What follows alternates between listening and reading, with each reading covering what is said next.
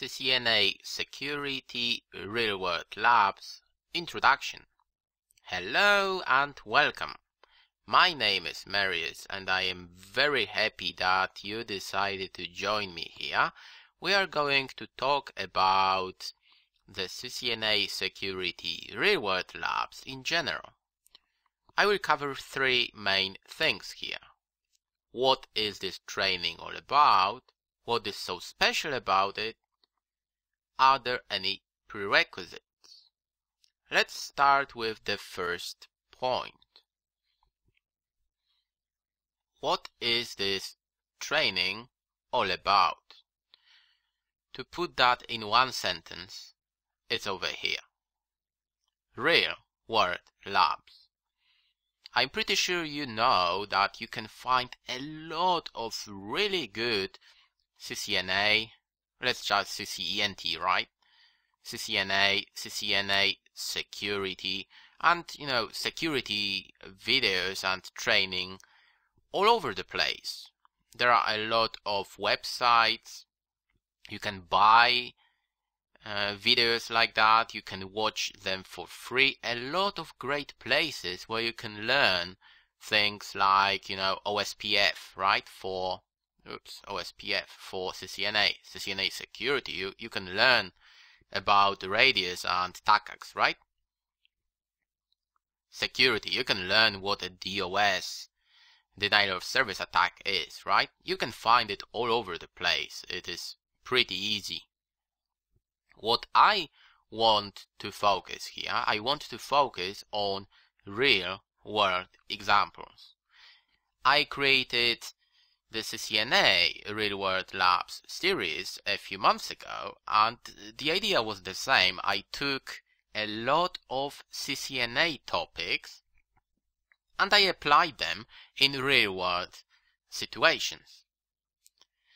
The same is here. I took topics that are on your CCNA security exam and I tried to approach, the, approach them from a different perspective. I want to show you how you can apply all those skills in the real world.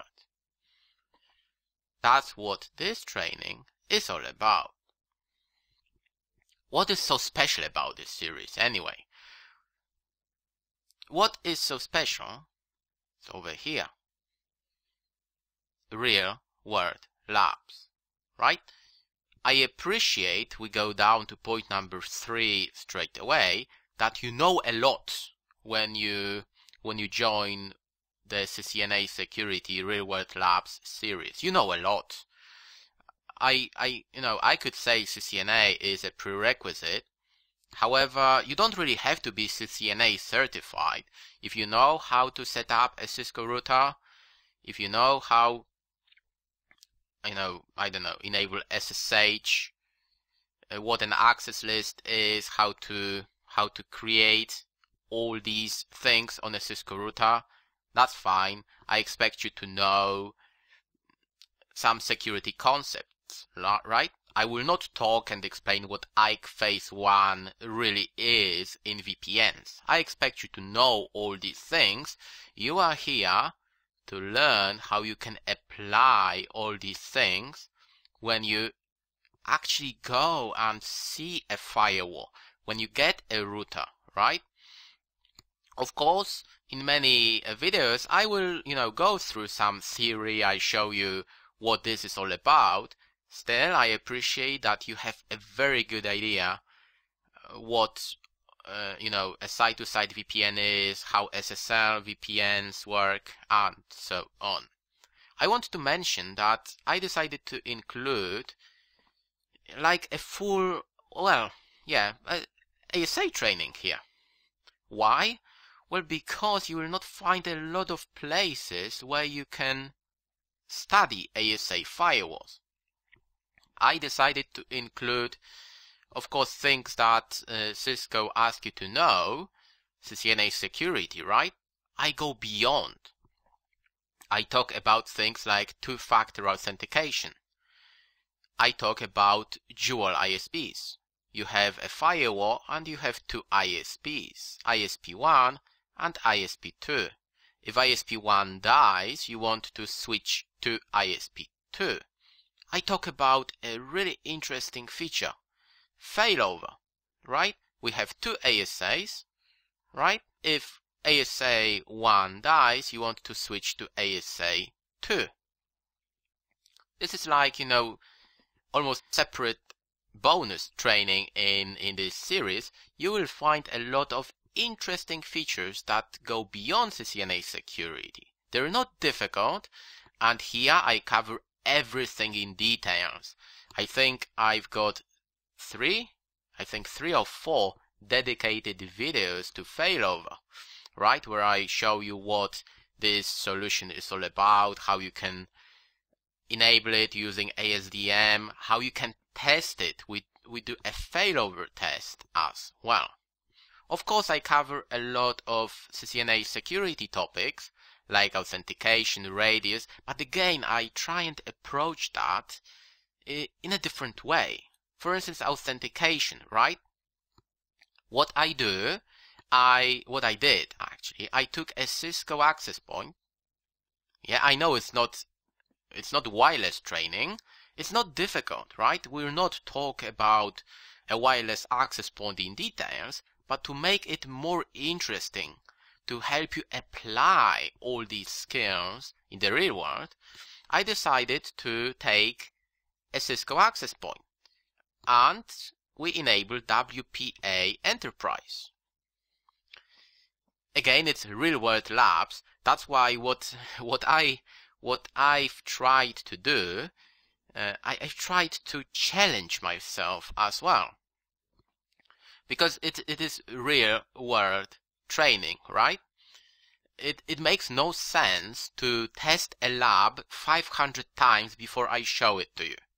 That's what people actually do when they record a series, right? They go and test a lab several times. They make sure it's all okay, no surprises. We want to make sure that, you know, it is okay, yeah? We want to show you how it works. We don't really want to show you how you troubleshoot, I don't know, uh, a simple routing issue on a firewall because I'm going to show you failover, the failover configuration, right? I don't want to focus on sorting out routing issues. Eh, wrong. That's what I want to do. And that's what I have done so far when I recorded CCNA and CCNA security real world labs training, I I tried to challenge myself, and in it's not as crazy as the first CCNA uh, real world labs. Still, you will find a lot of videos where where I you know I struggle. Say, why? What's wrong with this thing? It should be I should be able to ping, and it's not working. What's wrong with it? And I keep recording, right? I want to show you that in the real world, you know, it is not that easy. It's not like, you know, when you watch someone, you know, and he shows you, I don't know, uh, let's say a radius, right? Oh yeah, you click here, you point, you type triple A, and it's done. No, I wish it was possible. In most cases, it is not that easy. You have to, you have to learn, you have to how to troubleshoot, you have to spend a lot of time sorting out all these issues. That's what I wanted to show you. Thanks to that, we have CCNA Security Real World Labs training. Thank you very much and I hope you're going to enjoy this series.